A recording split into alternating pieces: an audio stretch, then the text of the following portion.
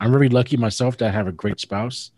She's been very patient, very supportive, and um, I, I can't thank her enough for allowing me to be who I am. At times, it could be very difficult, not just on her, but on the family, because I have these dreams. And to your point, like you were saying, you know, I've been doing this myself. It's my fourth year now. We met about three, three years ago or so. And um, the first couple few years is has really been trial and error. A lot of steps back, a lot of retooling, you know. But I would consider that as my foundation years. You know, my my time I was building my foundation. You know, screwing it up. So now I'm kind of looking at the, the the blueprint for the framework now. That's how I feel this year is for me, right? Do you feel that's what this year is for you? Do you feel like you're in a, you already have your floor built? Do you feel like you know what? I demolished everything and I'm going from scratch. I don't I, I, I don't think I've demolished everything. I still feel that I have some of the principles that I've used in the past. I just haven't really relied on them. So for example, you know, goal setting.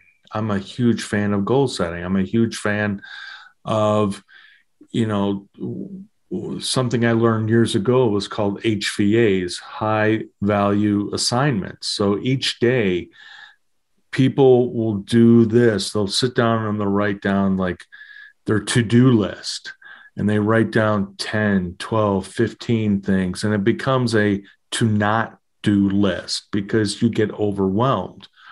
So with HVAs, high value assignments, you write down one, two, three things at the most.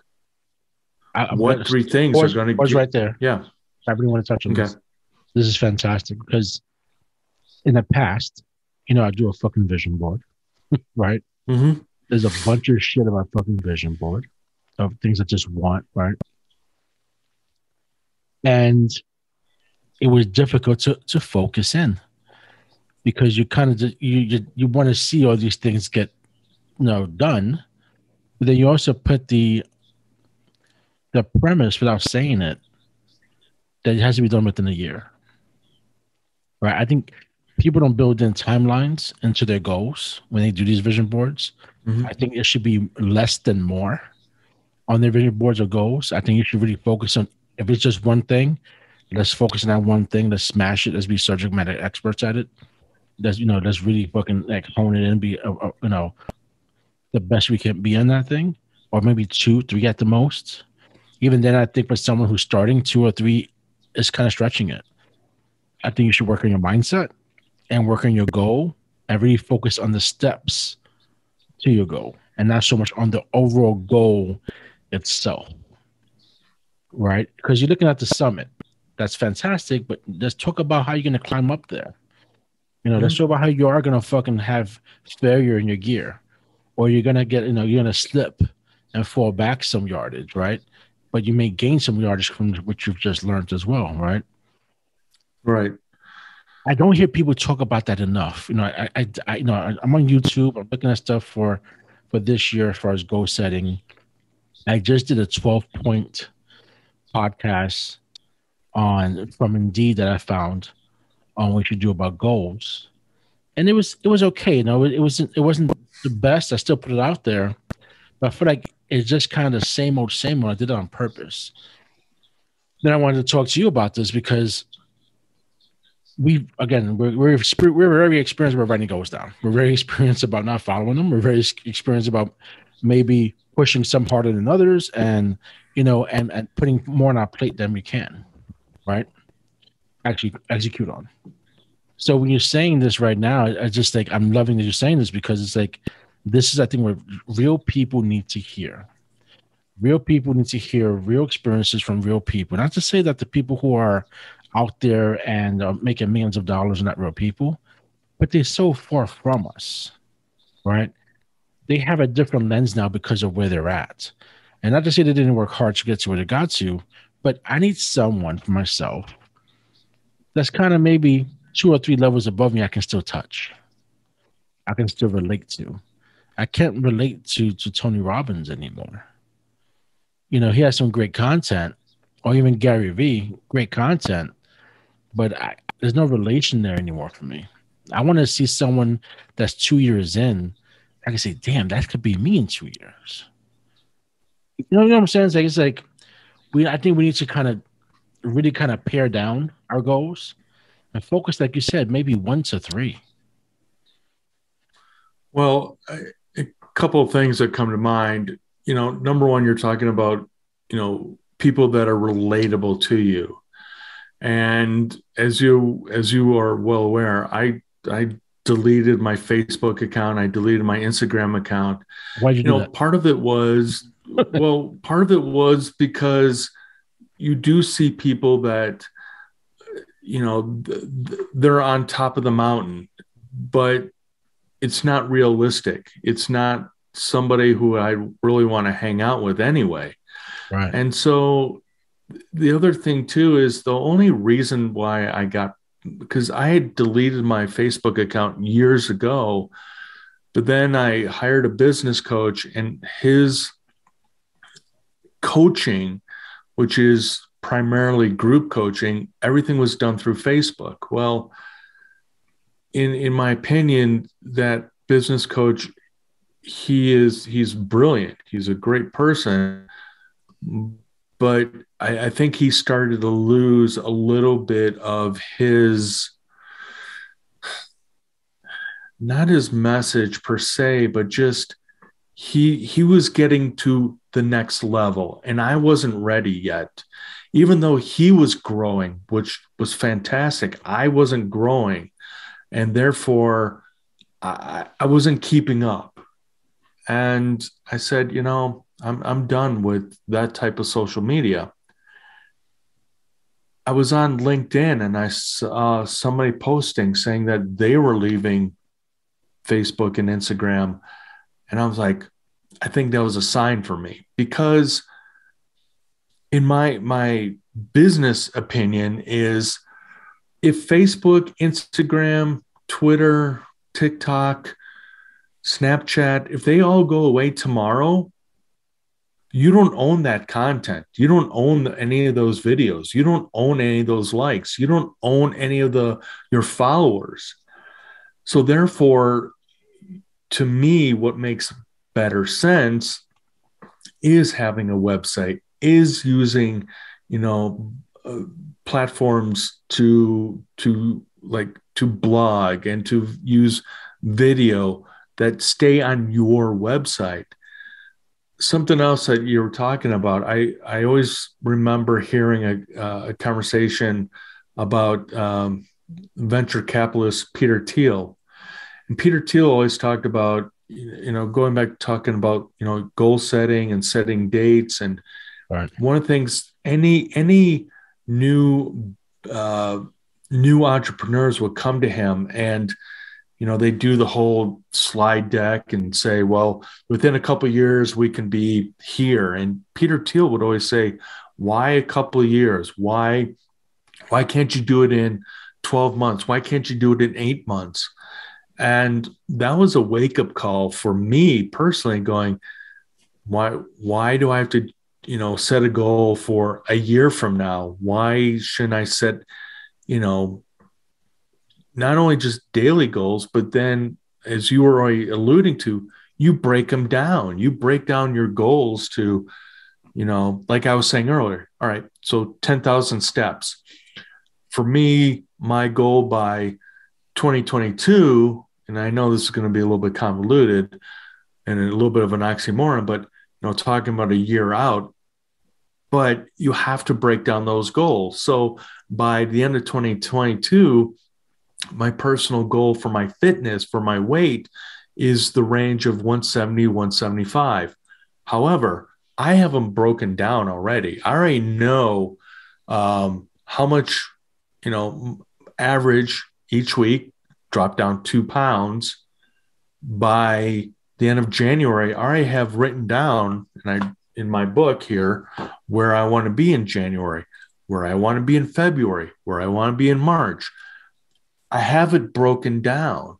And again, to your point, we put up those vision boards and we don't set dates. We don't set down or sit down and say, where do I want this goal? How do I want to hit that goal by when?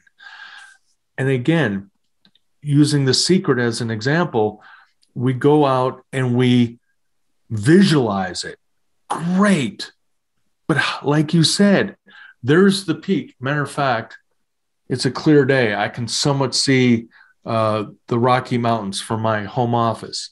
I can see that peak, but how am I going to get there? What are the steps? What is your plan? And again, you you nailed it. We see we see the end goal. Dr. Wayne Dyer always talked about think from the end. Well, how are you going to get there? What steps are you going to formulate? You know, again, what's going to get you out of bed every single day to to drag your butt to that dreaded day job that you hate? But how are you going to reverse engineer it? How are you going to take that day job and and use it? So I always tell people instead of calling it a dreaded day job, call it your silent partner. Your silent partner is bringing you income. Your silent partner is helping you and will help you achieve to land on that peak. But again, you have to break it down. You have to um, execute the plan to get you there. I love what you're saying. You're right. You know, I want to give people an example who are listening out there. And when we, when, as far as when we talk about steps, right? So let's say you want to buy a home, and your home is your ultimate goal, right? And you have a, you have the house you have in mind. So you found it on, on Google, whatever you printed out. I don't want to cut magazines out no more, right? So you find your mm-hmm. home, you print it out. Unless you have a virtual board and you have it on your desktop, whatever. Right. But the steps that Tommy's talking about and myself are okay, is your credit on point? Right. Oh yeah. Do you have a down payment?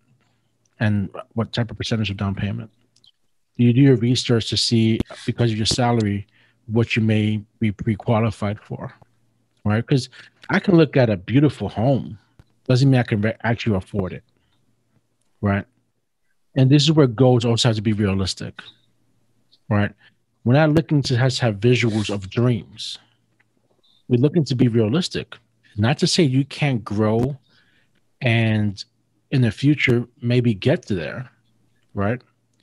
But let's just start. Let's begin. And and everyone usually begins in a starter home. And then from your starter home, you tend to upgrade. It happens all the time, right? These are where people. This is the, the, the breaking down of those goals. Now to break it down even more, to get more micro uh, micro with it, is where now you're looking at okay, well, now me put my credit report. How bad is it? no, what do I need to pay off? Let me start paying something off. Let me start maybe getting a secured card, you know, to grow my credit, you know, go from there. Right. Down to okay, am I ready for an agent yet? I'm not. Let me wait a year and can I put 10 grand away in a year? Can I save for that house? And then when you're saving for your house, you should have a special account and name it house money, down payment, whatever hell you want to name it. That way, in your head, when you see that account, you don't see the money first, you see the name. You see the purpose for the money. It's going to help you not touch it. Because you see random money in your account without any type of purpose for it. We are visual creatures. If you don't see those words for house down payment on there, you're going to spend it. You're to think it's another savings and you're to use it for something else. And we have to get back on not spending as much, getting things you want to move forward. That's just an example for that particular scenario. That's breaking down. We can even break it down in more, even more granular than that, right? Again, but these are the steps you have to take before you get to the house. Once you get the house, yes, now you're on top of the summit. And then now what's your next goal? There's several things you have to always include into that. And as you do so you're going to be happy. You're going to be more um, educated on how to handle your business how to handle your money your finances how to move towards your goals that single year of you just doing that, being disciplined, which I don't think people talk about enough, is discipline. Where they get caught up in inspiration and motivation, and those things are very temporary. If you're waiting for inspiration, good luck, because you don't know when the fuck that's gonna come, right? Motivation, it comes and goes, right? It's a new year. People are motivated probably to work out, go to the gym. By February, or March, they're dropping the fuck out because the motivation has run away. You got to have that drive, right? So as you talk about your goals for this year, goals for myself this year as well, I'm more focused on my drive and my consistency than motivation or inspiration. When it comes, that's fantastic because I want to motivate myself. I want to see me go over these milestones, give myself, like you said before, like give yourself a high five, give yourself that pat in the back, give yourself that self recognition. That's going to motivate me and say, yeah, this is working. And as inspiration comes, and it's going to come, it's going to hit you. Allow that to be this thing. Let it come when it comes. But if you're sorting it out and you're making that your goal to sort motivation and, and inspiration out, then you're not going to be successful. You're looking at the wrong thing. So that's where my concern for people are is where you see again all these vision boards. I want you guys to narrow it down. I want you guys to make one or two, maybe three goals tops, and that's it. You know, and then from there, really work on the steps to get to your goal, not just that horizon you see in the back, that vista that you see. You know, and then go from there with it. But again, like I said, I want you to also focus on more the discipline. Get up and do the work on the days that you don't fucking feel like getting up. Those are the days you actually win more when you don't want to. Uh, you know, to use the house example again, the way I would even, and not to to frame it, so to speak, would be again what you were stating is all right I have to look at my credit rating. I have to look at, you know, um, do I have extra income to start putting into that, you know, house account? Right. One other thing I would add is create a way of of getting a, a side hustle yeah. because that side hustle can help you get to that goal sooner. So, for example, if you're if you have a, a day job where maybe you're an accountant, maybe you can do some accounting on the side for somebody. Maybe you're a, a really good uh, writer. Maybe you can do some copywriting. Maybe you can do some editing. You know, bring in a little bit of income and stash that money into that one account that's going to get you into but, that but house. Tommy, I would even we're, we're told to work smarter, not harder. Right. Yeah, but here's the what, thing. What does that what does that mean? You, you you named you named well, here's what it means to me is you you named people like Tony Robbins, you named Gary Vaynerchuk, you know, um, I would even say, you know, uh, Reid Hoffman, who created LinkedIn these are three people that are multimillionaires. Did they do it the same way? Hell no. They took a different path to get there. Work harder, work smarter. It, it, that's going to be, you know, depending on that person. That person is going to figure out what's going to work best for them. Again, to use you and I an example, we've we've seen how badly we've screwed up for years. Did we work smarter and harder? Possibly. But did we really look at how we were trying to get to the next step? Did to to the summit? Did we try and just make leaps to the summit without really realizing that we should have maybe taken a different path or a different road? I look at, you know, again, the the house example. How can you get there? What steps can you take? You know, I would I would definitely use a vision board. I would actually go to Home Depot, Lowe's, whatever, and go look at fixtures. You know, it's like if your dream is to own a Porsche, Lamborghini, a Range Rover, go to those car dealerships, go feel it, go sit in it. Have somebody take a picture of you sitting in that car, somebody taking a picture of you in your dream home. Visualize yeah, it. But again, like we've already said, yes, but do the work. What's it going to take you to get into that dream home?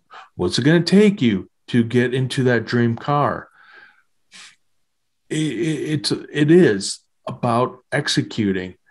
It's visualizing But again, got to do the work. You got to do the things that you're not going to be happy with, like going to a job you dread, but then reframing it, changing the mindset of don't call it your dreaded day job, call it your silent partner. No, I think you're right. I think we have to reframe of our language around certain things and be very honest with ourselves. Okay, so you hate your job. Great. Well, to your point, this is a partnership, right? I another thing too. You did agree to whatever salary they gave you. You agreed to the job that they gave you, right?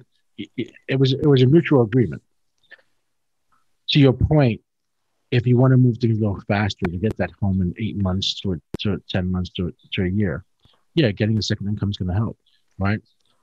Uh, third income is going to help, and and the reason why I asked that question of you know that adage that we always hear, you know, work smarter not harder, people actually take that too literal. Mm-hmm. People are always saying, "Well, I don't want to work harder. I want to work smarter." You can't. Once once you work super hard on something, and you kind of make your breakthrough, and you know once you make some dollars and cents, it does help you to take away some of the pain and stresses you had when you were making that breakthrough. It gives you more resources. As you have more resources, you begin to do work smarter, but working harder is never going to stop, right? If you want to continue the lifestyle you're living, you, you continue have to work hard, but your resources are, are going to assist you in that endeavor to make it seem like you're not just breaking your back, you know, you're sweating all fucking day long, you know, in this in this painful environment. Um, and that's where people really have to get in their thick fucking skulls they hear that adage, you know, work smarter, not harder. It's it's it's for the people who are stuck, who are, have no advancement in their career, who keeps on running into a brick wall. At that point, it's okay, work smarter, not harder. You're working harder for what exactly at this point? You're just clocking and clocking out to make ends meet. Working smarter would be okay, well, this is a dead end job. Let me find another job that can give me certain levels I can grow into, whether it's leadership roles or whatever that is. Right. Let me go educate myself and get a new skill. That's working smarter now because now you command more money. You still have to work hard at that job because you also have to work hard at freaking learning a new skill set, but it's going to give you that openness to work smarter and harder at the same time, not just smarter and get the hard work. Well, my my thinking, listening to you talk about work harder and work smarter, and using example of somebody you know working at a job that they they hate part of the issue is as humans we get caught up in in the moment of i'm going to settle that i'm going to not want to take that risk that i don't necessarily want to you know look for another job because what happens if the company finds out oh my gosh i'm looking for another job. Right. So what what people do is they get stuck like you said and not only do they get stuck but they settle and they settle. And that's you know going back to i was settling you know i it was a job i hate hated um but I was settling because I was afraid to totally pivot of what I rather be doing. And ironically, that's one of the words